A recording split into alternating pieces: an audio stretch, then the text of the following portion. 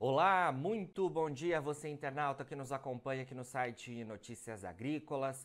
Voltamos com a, voltamos com a nossa programação de boletins ao vivo agora para falar sobre o mercado do boi, saber como estão as movimentações nesses últimos dias e mais do que isso, trazer as expectativas para o início do ano que vem. E para isso a gente conversa agora ao vivo com o nosso parceiro Gustavo Figueiredo, que é sócio da Radar Investimentos. Gustavo, muito bom dia, obrigado mais uma vez por estar presente aqui com a gente do Notícias Agrícolas, principalmente nessa última semana do ano. Eu que agradeço sempre aí o convite, estou sempre à disposição, como sempre aí. Ao, ao longo de 2023 não vai ser diferente. Excelente. Gustavo, queria que você começasse falando para a gente sobre como tem sido as negociações né, nessas últimas semanas do ano de 2022 no mercado do boi. Quais destaques você traz para a gente? Ah, infelizmente, as notícias não são como a gente imaginava que seriam, né? É, as escalas hoje já, como a gente já, nós estamos no final de dezembro, nós já estamos falando já do início de 2023, né? Que seria janeiro. Janeiro, as escalas aí dos frigoríficos em São Paulo, dos grandes frigoríficos já perfazem aí, já estão aí para final de janeiro, então nós estamos falando de uma escala aí pós dia 20 de janeiro. Então eles estão tranquilos com as escalas, tranquilo em relação a preço, porque não há necessidade de recompor, de realizar uma compra nesse momento, devido ao fluxo também de exportação que não segue é, muito forte, né? Já dezembro a gente está numa exportação abaixo dos meses é, de outubro, setembro e agosto, onde foram os recordes de exportação. E com essa é, oferta excedente e escalas longas, os frigoríficos recuaram o preço de balcão, onde eles tentam comprar 280 reais em São Paulo, né? É, o volume nesses preços não é grande, né, de negociação. É, só que eles têm uma, duas, três semanas aí para tentarem pressionar o, o preço e a gente só vai saber se vai existir uma pressão altista ao longo de janeiro, se essa oferta não aparecer até o dia 10 de janeiro, onde as escalas aéreas passam a reduzir e aí há uma necessidade de retomar preço aí para casa de 290 em São Paulo. Certo. Com essas negociações que estão acontecendo, como você falou, para quase final de janeiro, elas estão no patamar de cerca de 280 reais arroba, é isso? Isso é a tentativa de hoje, né? Tá. Essas escalas foram feitas com preços anteriores. Os preços aí onde houve uma oferta maior, ela foi entre 290 e 295 reais, tá? Base São Paulo. O que traz um alento aí para o pecuarista no atual momento é que os, os estados vizinhos, como MS e Minas, eles estão mais firmes, né? A gente pode dizer aí que já é MS, nós tivemos uma MS, MS nós tivemos um preço de 260 e já falam até em 270, né? Isso é, é um mercado muito firme dentro do estado de São Paulo. Certo. E, e Minas 290, só que Minas, é, isso aí é 290 hoje, é um recuo, porque Minas chegou a ter preços até de 290, de 300 reais por arroba. Tá? Olha. Então isso mostra uma tendência aí dentro do, de São Paulo, que é, é a única coisa que nos, nos dá firmeza para pensar e imaginar que o 280 não vai haver volume e os preços voltarão aí após dia 10 de janeiro para casa dos 290. Porém, para uma alta maior do que isso, uma expectativa de uma alta para atingirmos aí o 300 dentro do estado de São Paulo, nós teríamos que ter uma um, um vamos falar assim, um feedback, um, um, resultado maior das exportações, ou seja, uma retomada maior das exportações do, de mercado chinês, onde haveria uma necessidade maior de oferta desse tipo de animal, e aí sim a correria pelo boi de todos os, os frigoríficos aumentariam. Aquelas escalas que hoje são reduzidas teriam que ser é, refeitas de trás para frente, ou seja, as escalas hoje que seriam para o dia 30 de janeiro passariam a estar do dia 10, porque aí eles iriam aumentar toda a escala ao longo do mês para poder é, ter uma exportação maior ao longo de janeiro, fevereiro e março, onde nós acreditamos que pode haver sim uma retomada das exportações devido ao reabastecimento de estoques aí que deveriam ocorrer no primeiro trimestre de 2023. Certo. A gente vai falar um pouco mais até de exportação depois, é, Gustavo, mas queria retomar uma fala sua sobre é, as informações né, relativas aí ao momento, né? Porque a gente está nas últimas semanas do ano, né, as festividades ali, a gente teve o 13 terceiro salário, e me parece que a expectativa do mercado, e como costumeiramente acontece, é de uma maior demanda no consumo, né, na ponta do consumo. É, eu queria que você explicasse para a gente por que a gente não tem aí, então, de alguma forma, preços tão interessantes como a gente viu ao longo desse ano de 2022, nessa reta final do ano, onde teoricamente a gente teria uma demanda né, bastante expressiva na parte do consumo do varejo. A demanda, ela, mercado interno, ela é uma demanda linear. Então, é assim, a demanda uhum. é sempre a mesma. O que mexe nesse preço, nessa retomada nos últimos meses, vai depender da oferta. Se não há oferta, logicamente, com uma demanda maior, o preço sobe.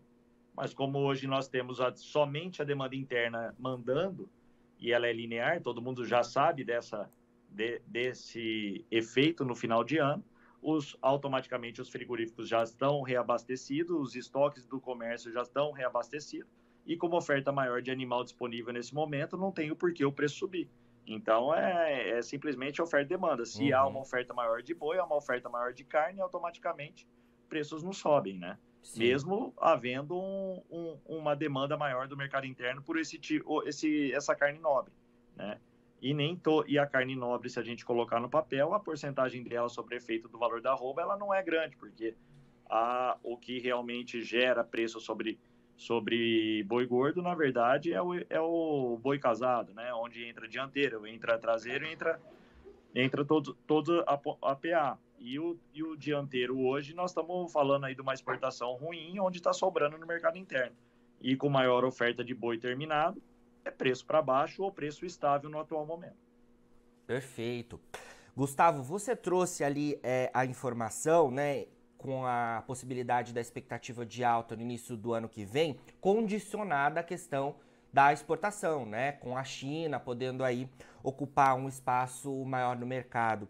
Só que eu trago de novo essa informação porque é, acho que a gente pode analisar é, isso com as informações que tem vindo né, lá da China. A China, como a gente sabe, né, a gente costuma ter informações atrasadas, é muito difícil ter as informações justamente por conta da política que é adotada por lá.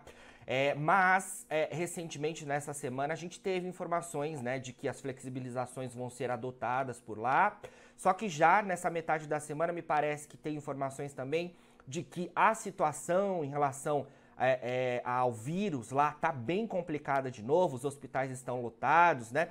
É, é difícil a gente ter né, clareza em relação a esse cenário com as informações que vêm da China, sendo que ela um, é um, um condicionante importante para o mercado do boi aqui no Brasil, né? Exatamente, exatamente. Então, mas é, as notícias que vieram essa semana são notícias positivas, que a partir do Sim. dia 8 de janeiro eles não vão fazer testes sobre alimentos, ou seja, se houver uma necessidade de retomar estoques, ou seja, que eles vêm para compra, né? Nós temos a parte boa é que nós temos uma arroba muito competitiva no cenário mundial, ou seja, uma das mais baratas do mundo, é, frente à arroba americana, que é o maior, um dos maior, o maior de carne do mundo.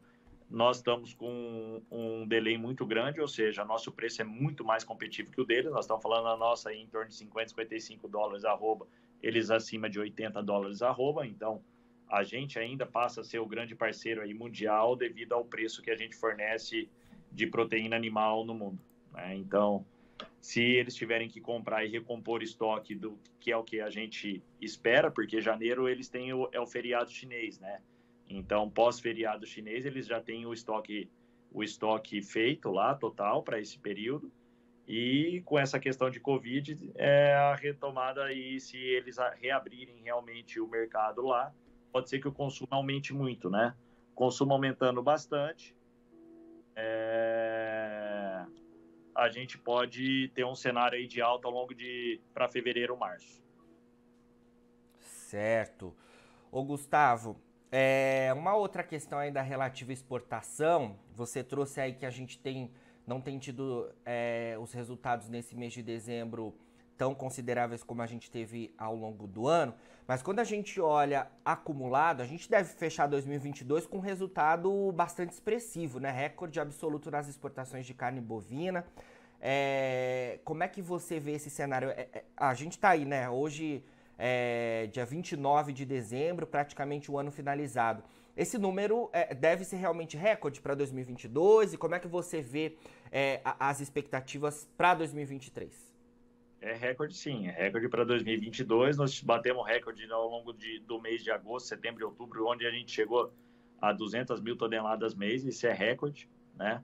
Só que devido aos preços anteriores que a gente atingiu aí dessa retomada de preço, onde a gente saiu da casa 160 nos últimos anos para 300, 320, ao, ao mesmo tempo e aumento de produtividade, nós tivemos uma produção ao longo de 2022 muito alta, né? É logicamente é efeito desses preços acumulados dos últimos anos. E aumento de produtividade, a gente tinha um abate de carcaça aí de 17, 18 arrobas, hoje a nossa média é acima disso aí. Né? Então, com o mesmo animal, a gente produz muito mais carne. Então, a gente aumentou o volume também de, de carne ofertada dentro do, do mercado interno. Então, mesmo com recordes nas exportações, os, os, nossos preços não atingiram preços superiores ao atingido aí ao longo de 21 de 21, né? Uhum. Então, a, e aí tem a questão de ciclos também, né? Onde nós já temos uma reposição mais em conta hoje, né? É, máximas dos preços atingidos, a gente talvez vá trabalhar aí ao longo de 23 com preços inferiores ao 2022, né? Com maior oferta de fêmea no abate, né? Competição pelo boi gordo. Então, agora, quanto às, às, às exportações, eu acredito que a gente vai sempre ter uma exportação muito firme é, e parecida ao que, ao que a gente teve aí 21 e 22. Não acho que a gente vá fugir muito disso, até porque aqui, como nós falamos, a, a, o preço em relação de, dessa carne bovina em relação ao mundo, a gente é muito atrativo e a gente tem, além de, de preço, a gente tem um volume considerável aí para atender todo o mercado. Bacana. Gustavo, para a gente finalizar então, falamos em relação à situação de momento, as expectativas para o ano que vem, falamos sobre é, o cenário de oferta, o cenário de demanda, esclarecendo todas as dúvidas aí. Para finalizar, queria que você falasse é, o seu conselho aí, né, para o pecuarista que está nos acompanhando ou é, a pessoa que está envolvida, né, na pecuária de alguma forma. É, nesse finalzinho de 2022 e início de 2023? Qual é a atenção principal para fazer bons negócios, principalmente olhando as margens, porque a gente sabe que os custos também estão bastante altos. Qual que seria a, a sua orientação? A orientação é o que eu sempre, a gente sempre fala, é, desde o que a gente dá entrevista no Notícias Agrícolas, que é olhar o mercado futuro. Né? Nós mesmos daqui da Radar acreditamos num cenário mais altista para janeiro e para fevereiro e março. A gente até acredita ainda nisso em alguns pontos. Porém, nem sempre o que a gente prevê no mercado físico ocorre. Mas o que a gente prevê no mercado físico, em algum momento, ele ocorre no mercado futuro. Né? É, vários clientes nossos hoje que esperavam um preço de 310 aí para a 320 para janeiro, eles não esperaram isso acontecer no mercado físico, eles simplesmente utilizaram o mercado futuro para travarem os seus preços, né? Então, a gente tem aqui uma, um número de clientes que está, nesse momento, entregando bois aí em dezembro é, acima de 300 e janeiro vai entregar acima de 300 também. Por quê? Porque o mercado futuro deu essa oportunidade em algum momento para que eles utilizassem esse preço e travassem esse preço de forma antecipada sem ter que esperar um, dois, três meses para que isso realmente efetive ou não. Como no caso de janeiro a gente esperava uma alta, o mercado de janeiro bateu 310, muita gente aproveitou esse mercado, esse preço no mercado futuro de forma antecipada. E na vida real, que é o mercado efetivo, o mercado físico, isso aí não ocorreu até hoje o 300 a 310 no mercado físico em São Paulo. E muita gente, mesmo assim, não existindo esse preço no, na vida real, existiu no mercado futuro, onde ele, utilizando essa ferramenta, ele defendeu toda a sua margem. Então, ele é utilizar o mercado futuro, sempre. Sempre ficar de olho nas oportunidades que, que geram ao longo do tempo. Perfeito, Gustavo. Obrigado pelas suas orientações, obrigado pela sua entrevista, por estar presente aqui com a gente nessa última semana de 2022 e aproveito para agradecer então durante todo esse ano a nossa parceria com vocês aí da, da Radar. É, e claro que essa parceria seguirá também em 2023, tá bom? Tá bom, eu que agradeço sempre o convite, sempre à disposição e continuaremos à disposição em 2023 também com vocês. Com certeza. Boas festas para vocês por aí. Bom, vamos então dar uma olhada nas cotações, saber como estão os indicativos de preços na B3, né, no mercado futuro. Hoje é, é a gente tem é, o último dia de negociação acontecendo na B3. É, o preço do boi gordo, a gente tem um indicativo para fevereiro de 2023 acima de 290 reais. É um patamar bastante interessante, mas praticamente estável ao que fechou é, na sessão anterior. A gente tem negócios zerados ali para março de 2023 e para maio, é, cerca de 280 reais a arroba do boi gordo.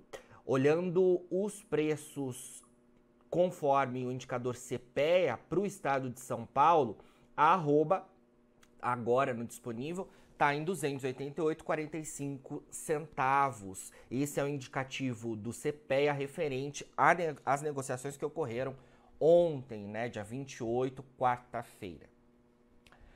Bom, agora na finalização dos nossos boletins, você fica com as nossas redes sociais. Siga a gente por lá para se manter atualizado sobre todas as informações do agronegócio brasileiro. A gente fica por aqui com esse boletim, mas daqui a pouquinho tem mais. Fica por aí e a gente se vê.